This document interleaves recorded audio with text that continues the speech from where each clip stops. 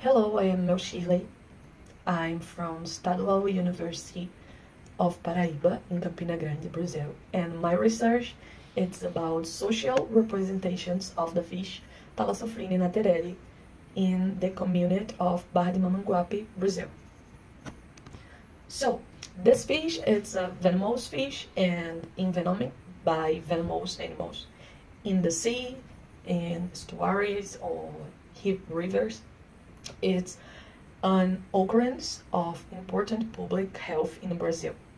So in this, in this context, the fish Thalassophryne nattereri constitutes an important health problem in fishermen and seafood communities on the Brazil's coast. And in this research, the social representations of fishermen and shellfish gatherers in de Mamanguape were evaluated with the aim of understanding their relationships with Thalassophryne nattereri. To do our research, we use as material and methods a qualitative research that was carried out with the population of fishermen and shellfish gatherers over 18 years old in the community of Barra de Mamanguape on the north coast of Paraíba. Using a focus group and free word association term that we can also call FWAT approach as a data collection instrument. Focus group was applied to a group of 11 shellfish gatherers and the FWAT was applied to a group of 12 fishermen. The data obtained were transmitted to a free open source software calls IRaMuTeQ, which allows textual analysis on textual corpus and on individual and person tables, providing classical lexicographic analysis, frequency counting, and prototypic analysis and similarity analysis.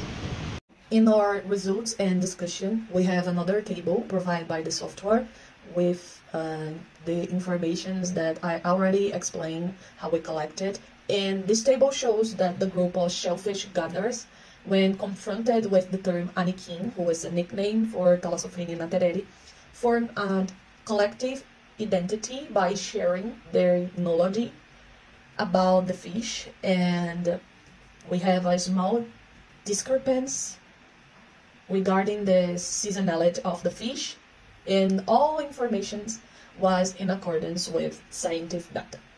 The technique used with fishermen revealed the pain.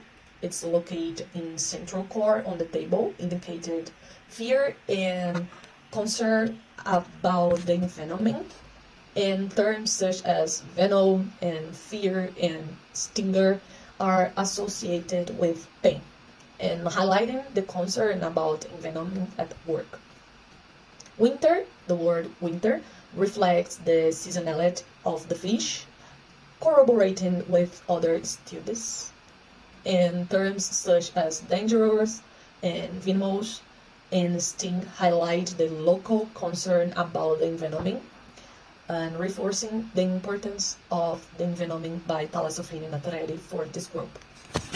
And in our conclusion, according to the results it was possible to observe that fear and pain are the main problem indicated by the community, which specifically concerns envenoming caused by Nikin, that's it also another nickname to Thalassophryne nattereri.